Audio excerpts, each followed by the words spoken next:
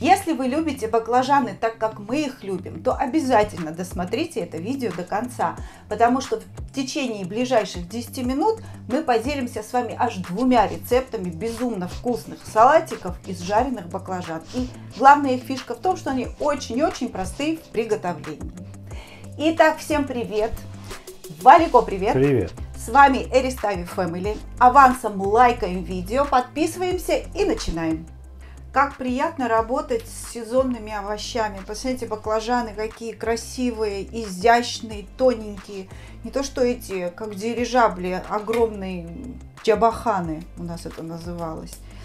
Первое, что нам с вами нужно сделать, это почистить, нарезать баклажаны. И мы их будем а, пересыпать солью. Я подробно об этом рассказывала в рецепте аджапсандали. Если кто не смотрел, посмотрите обязательно. И еще хотела сказать, что а, подробный рецепт, как всегда, будет в, в описании под видео. Чищу я баклажаны вот так вот зеброй а, через раз Оставляем немножко кожуры в любом случае. Нарезать будем не слишком тонко, иначе при жарке они э, будут как тряпочки. Метр. Ну сколько здесь? Приблизительно 8 миллиметров, я так предполагаю. Нарезаем. Укладываем сухую мисочку. И обязательно пересыпаем солью. Дальше опять пойдет слой баклажан, слой соли. Мы все баклажаны почистим, нарежем, поставим под пресс для того, чтобы они выделили сок. Они должны э, полежать так под прессом где-то ну, 20-25 минут. Если у вас есть побольше времени, можно на полчаса их оставить. Для чего? Для того, чтобы они выделили горечь. После этого мы их промоем, отожмем и начнем жарить. Для чего мы их э, отжимаем, промываем и вот это вот э, как бы все проделываем. Во-первых, как я уже сказала, для того, чтобы горечь выделилась вот с этим соком. И во-вторых, они меньше масла будут в себя впитывать при жарке, потому что если их вот в таком виде жарить, просто нарезать и кинуть на сковородку – много очень масла они в себя впитывают. Теперь ставим все это под пресс и оставляем на энное количество времени. У кого сколько есть, минимум минут 20. И пока баклажаны у нас будут стоять и выделять сок, я расскажу про ингредиенты, которые нам с вами понадобятся. Первое – это растительное масло для жарки баклажан. И ингредиенты. Значит, для первого салатика это из овощей и зелени. Это помидорки, а, лучок, лучше брать красный лук, сладкий болгарский перчик. Для любителей острого мы берем перчик острый, можно зеленый, можно красный, без разницы. Из зелени это сельдерей, э, кинза петрушка и фиолетовый базилик, он же рыган, кто как его называет. Дальше нам понадобится немножечко бальзамического уксуса, чесночок и хмели сунели. Для салатика номер два нам с вами понадобится опять же чесночок, но теперь уже уцхосунели и немножечко майонеза. Кто-то кладет сметану, кто-то кладет даже мацони, но мне с майонезом нравится больше. Он такой нежность придает этому салатику. В принципе, наверное, все рассказала по ингредиентам. Теперь ждем, когда баклажаны у нас э, настоятся и начнем их отжимать. Смотрите, сколько жидкости выделилось из баклажан. Прямо вот темный такой.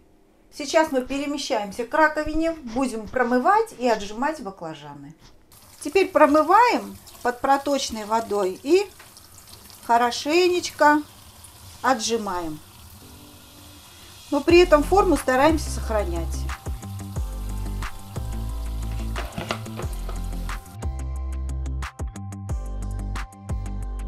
Прогреваем масло и начинаем выкладывать баклажаны.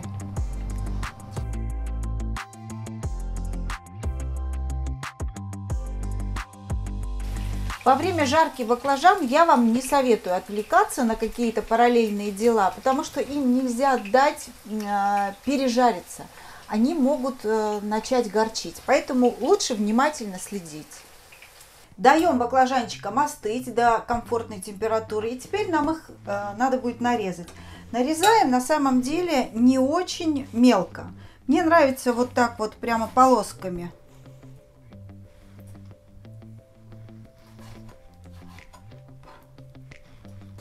Нарезала я баклажаны для обоих салатиков. Один пока откладываем, одну мисочку. И начинаем с того, что добавляем в салат помидор. Серединку, как всегда, вырезаем.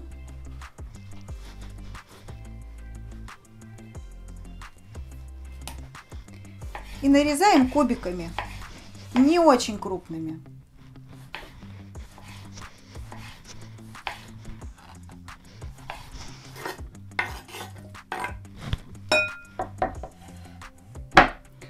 Дальше пойдет болгарский перчик. Перчик делим на 4 части и нарезаем вот такими тоненькими четверть кольцами.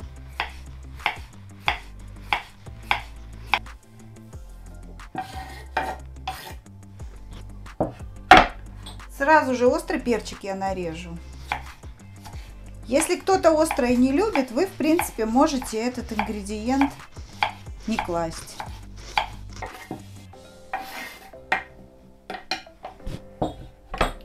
Дальше лучок. Тоже стараемся резать очень тоненько.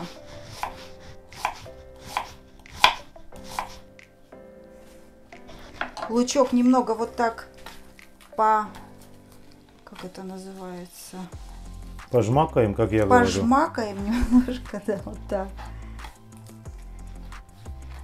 И засыпаем. Дальше у нас пойдет сельдерей.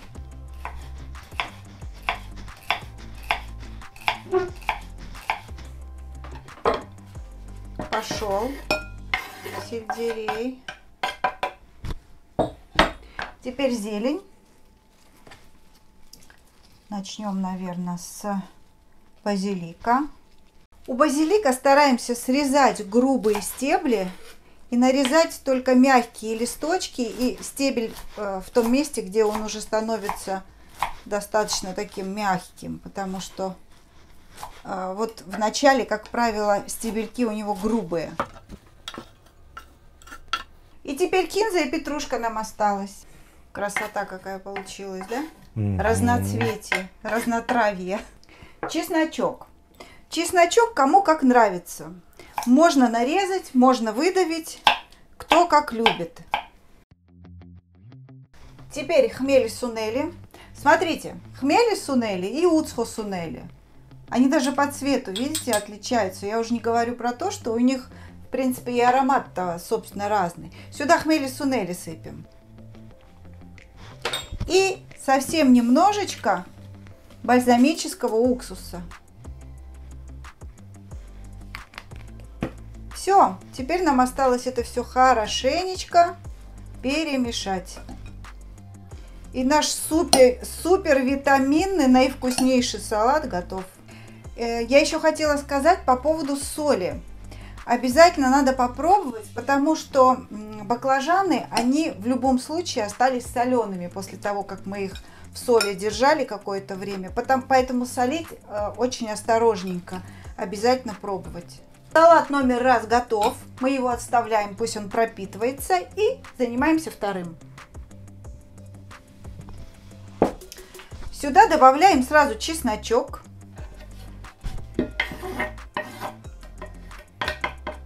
Теперь добавляем кинзу. В этот салат идет только кинза.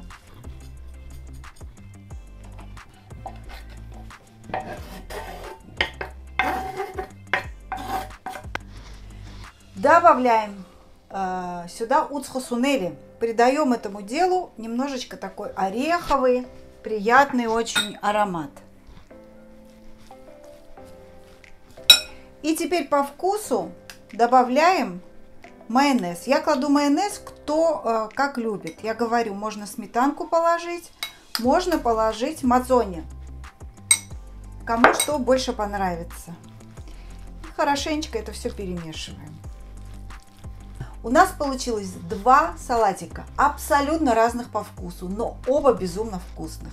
Я вам советую приготовить оба и определиться, какой вам больше нравится. На этом на сегодня все. Берегите себя. Всем пока-пока.